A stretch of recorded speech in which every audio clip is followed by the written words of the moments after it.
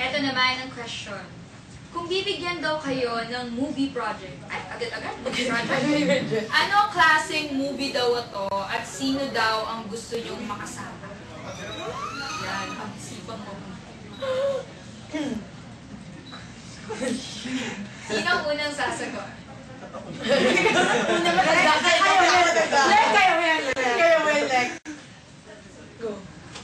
Uh, ah, Siyempre po, masaya po kung magbibigyan po